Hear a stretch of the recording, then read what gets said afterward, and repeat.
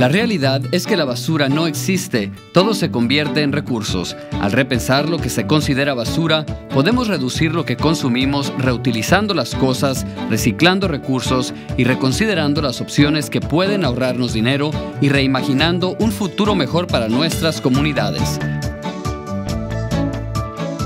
Para recomendaciones visite phoenix.gov diagonal Reimagine Phoenix.